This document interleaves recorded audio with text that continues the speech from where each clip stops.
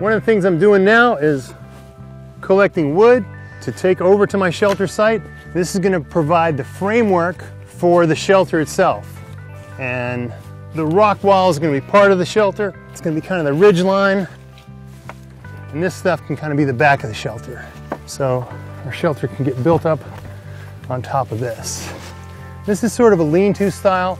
I wouldn't normally build a lean-to style if I didn't have a place for a fire. If I were gonna build a shelter without a fire, I'd build it really close to the ground, only with enough room for my body to get in. Since I'm gonna try to build a fire along this rock wall, it's okay for me to have a bigger, more spacious shelter.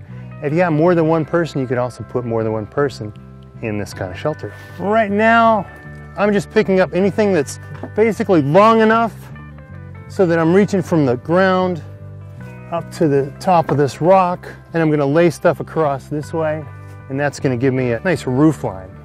So what I'm trying to do is get about a 45 degree angle, then I'm gonna insulate the top and we'll see, probably use leaves and some smaller sticks that are gonna go across the top and then put a fire right out here. So my roof is only gonna go about this far and these poles are gonna be open so that the fire can just go up through there. Okay, I'm trying to get a cross member here so that I can start interweaving a little bit.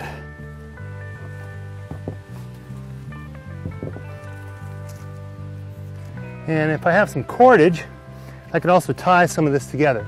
Okay, so we got a pretty nice frame started. So in, in the ideal world, they will be touching each other. So I want to get this done before dark. So I'm not going to go and put them all together right now because we have darkness coming.